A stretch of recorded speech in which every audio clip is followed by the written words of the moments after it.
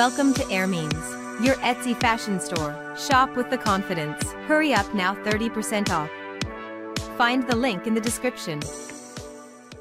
Bryan Craig is returning to General Hospital eight years after the death of his character, according to Us Weekly, the 32-year-old actor is all set to reprise his role as Morgan Corinthos on the long-running soap opera. that He will appear as a guest star for only one episode this summer, a source confirmed on Monday, June 24. The news of the actor's comeback was an instant delight for General Hospital fans, who rushed to express their excitement for his return to the small screen, Welcome home Bryan.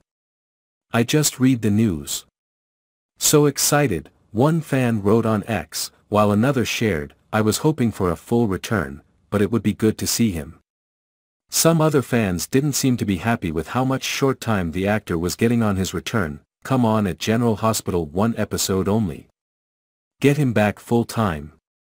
Fans really miss Morgan, wrote one social media user, another chimed in, so at Valentini Frank hyped up a former cast member's return only for it to be one episode? What are they doing over at GH? This isn't the type of thing that is going to get and keep viewers.